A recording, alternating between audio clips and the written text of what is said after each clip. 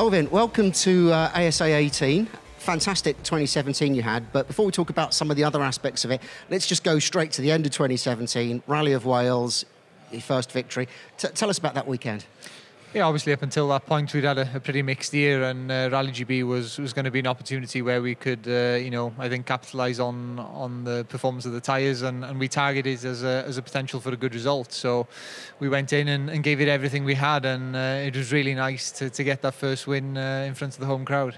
Um, what is the feeling when you finally get across the uh, finish line with, with your co-driver? You look at each other, the win's there. It must be unimaginable.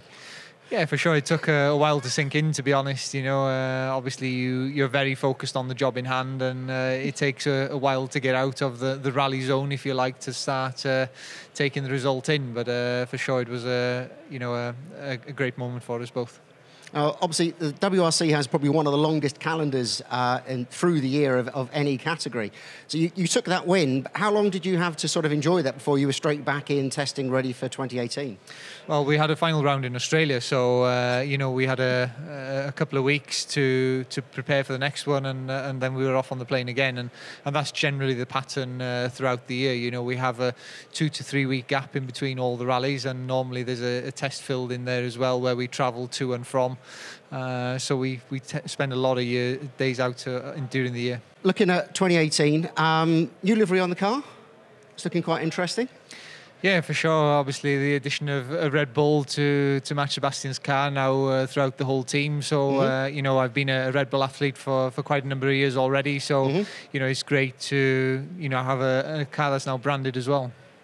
Okay, and through the winter, what work has been uh, done on the, the, Fiesta to bring it up to sort of 2018 to maybe try and find a bit more speed in the car compared with you know the consistency that it had through um, 2017?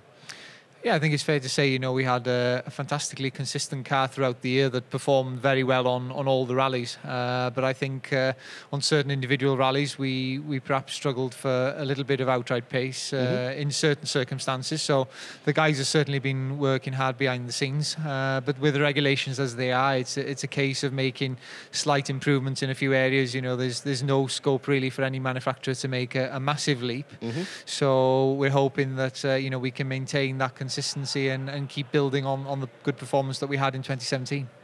Okay. And how's testing gone? Is that are you, are you now prepared? Have you got a bit more testing to come up this week before the Monte? Yeah, we did a, a, short test just before Christmas uh, in in the south of France, and uh, you know we I leave tomorrow actually to to go again during this weekend to to have a two day test before the rally starts. So uh, yeah, hoping uh, that'll all go well. Okay, and for 2018, what, what, targets have you set yourself? You've got that win in now. Um, is it more wins, uh, more podiums, or are, are, you thinking about championships?